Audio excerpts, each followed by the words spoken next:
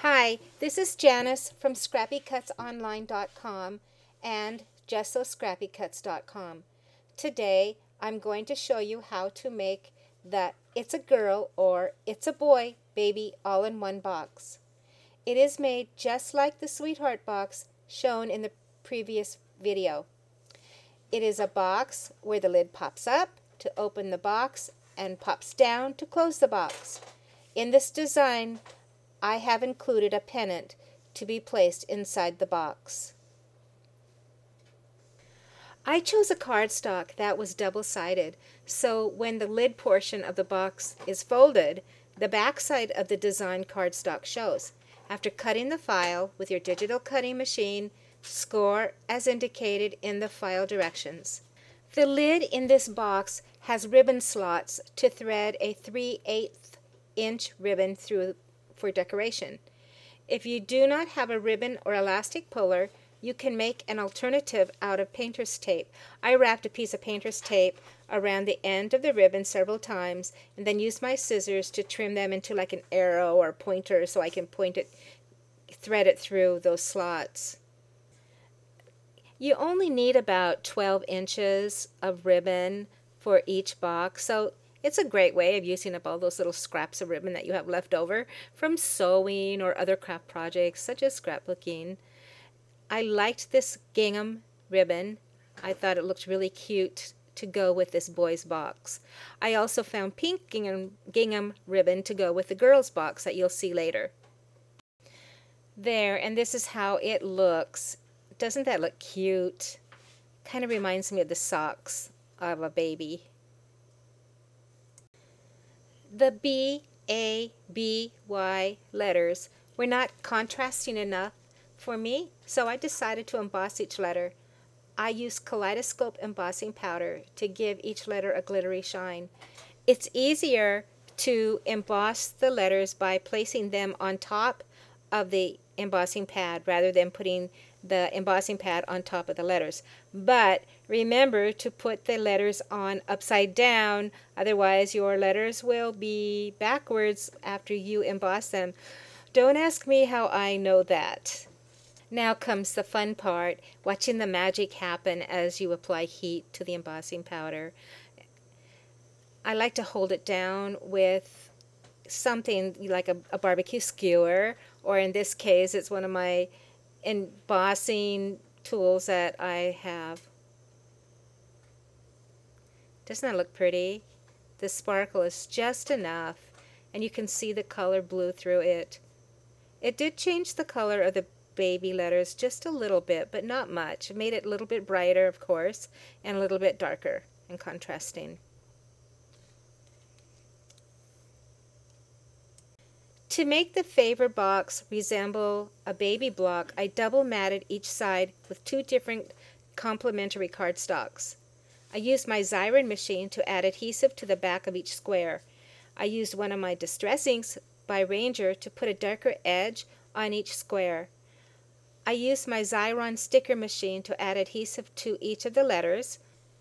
When I use my Xyron adhesive machine, I like to turn the paper over and burnish the back of it just so that the adhesive really has good contact, good strong contact with the paper that you're making stickers out of. The first mat is done, then you go ahead and add the second layer. These two mats are centered on each side of the box. So now that your two mats are centered on each side of the box, it's time to add the letters.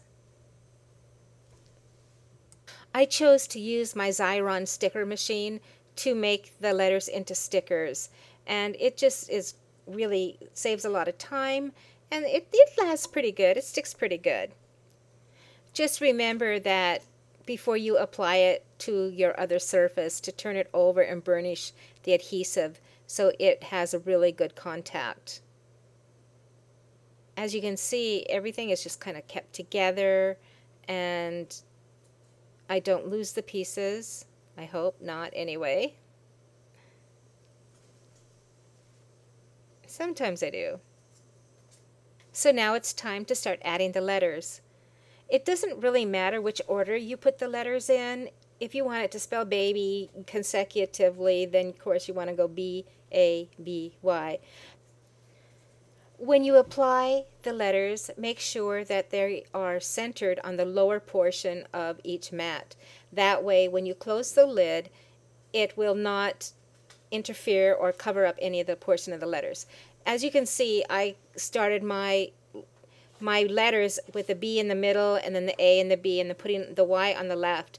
I thought it would make a nicer presentation with the seam between the second B and the Y rather than between the B, the Y and the, the B. I guess it really doesn't matter. I mean, it doesn't really matter which way you put it. Just in any case, when you get done, turn your box over and again rub the back of those letters so that there's good, strong contact between the adhesive and the paper. I use this extra strong adhesive tape with this particular box. You could use quick drying glue, which I used before. I kind of prefer the quick drying glue myself. But again, that's just my preference. So now that you have the box formed, it's time to do the bottom portion to close it up. To close the bottom of the box, fold down the square tabs, insert the two hooked tabs. Be sure to put some glue or adhesive tape on the edge of that last nippled tab. Then you insert it beneath the square tab. Use your other hand and push down inside of the box eh, to put pressure on the tabs for a stronger contact. Now, fold down the lid and close the lid ends with adhesive. You can test your box out to make sure it works. This one works. It looks really cute. I like it. Now it's time to make the pennant. I did not like the way my It's a Boy pennant looked, so I used my Distress Ink to make it darker by direct contact to the die cut itself. You can see that this pennant is still on the Xyron paper. It helps hold the pennant down for inking. I then added my embossed letters. I wanted just a bit more bling, so I put a heart-shaped jewel on the dot of the exclamation point. Next I wrapped a, a trimmed down barbecue skewer with matching ribbon. I hot glued the pennant onto the skewer and then put the backing of the pennant to cover up the glue and that end of the stick. There it is. Check it out to see how it fits in the box. Oh, I think it's going to look really cute. See how it kind of moves around a lot?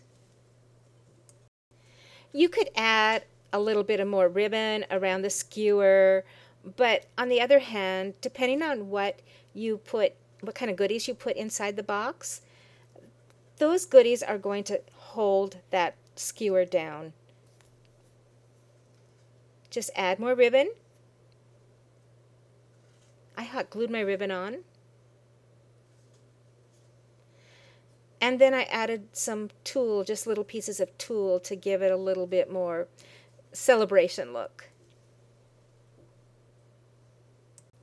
There's the pennant. And putting it inside the box, there's the It's a Boy box.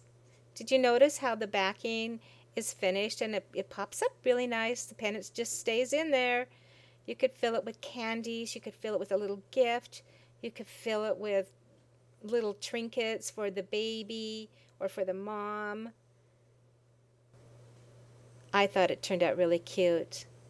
I hope you enjoyed this video and come back and see me again. Bye.